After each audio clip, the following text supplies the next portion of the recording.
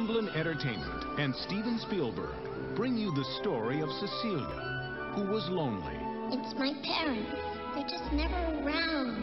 and Louie, who longed for adventure. I'm running away to the circus. While millions of light years away, someone heard them. Greetings, friends. I'm Captain Neweyes. I'm trying to make a few wishes come true. I invented this. It's a wish radio. I wish I had a friend. He sent them some help They want to meet you. What do you say? from the prehistoric past. We'll do it. Farewell, my friends. Just try not to step on anybody. You gotta be kidding! Welcome to New York City! Who are you guys anyway? Dinosaurs, actually. Dinosaurs, huh?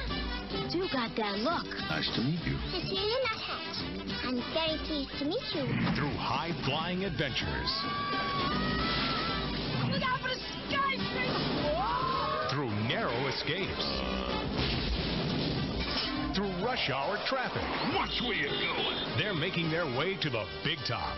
There, right there. But Professor Screweyes That's the bad guy! has other plans. Professor Screweyes Eccentric Circus! Standard contract. You want to sign?